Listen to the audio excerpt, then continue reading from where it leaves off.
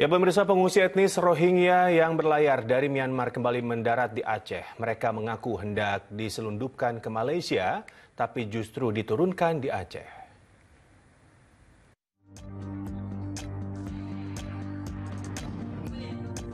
Sebanyak 50 laki-laki pengungsi etnis Rohingya dikumpulkan di lapangan olahraga di Gedung ID Aceh Timur.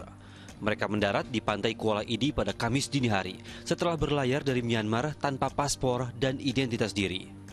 Diduga mereka menjadi korban tindak pidana perdagangan orang internasional. Mulanya, para imigran hendak diselundupkan ke Malaysia dan bekerja secara ilegal dengan membayar ongkos kapal sebesar 20 ribu ringgit atau sekitar 66 juta rupiah.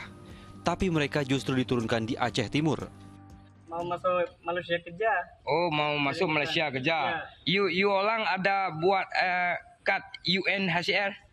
UNHCR? Tak ada buat. Tak ada buat. Semua orang tak ada. Tak ada.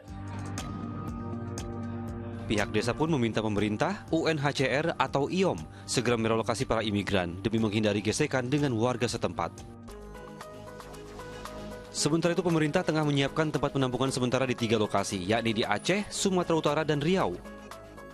Indonesia tidak menandatangani konvensi pengungsi tahun 1951 untuk menampung pengungsi dari negara lain, tapi pemerintah tetap menerima pengungsi Rohingya demi alasan kemanusiaan. Nah Indonesia tidak menandatangani itu, sebenarnya berhak membuang dia. Indonesia itu berhak mengusir menurut hukum internasional. Tapi diplomasi Indonesia adalah diplomasi kemanusiaan, sehingga semua yang datang ditampung.